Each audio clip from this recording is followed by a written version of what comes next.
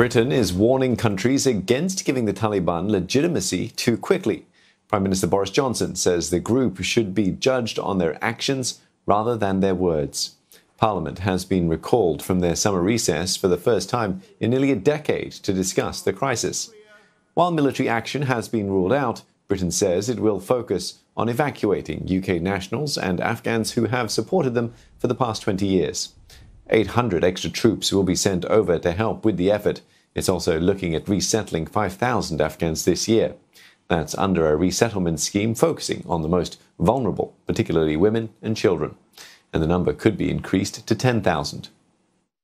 While we must focus on the region itself, we will also create safe and legal routes for those Afghans most in need to come and settle here in the UK. So, in addition to those Afghans with whom we've worked directly I can announce today that we're committing to relocating another 5,000 Afghans this year.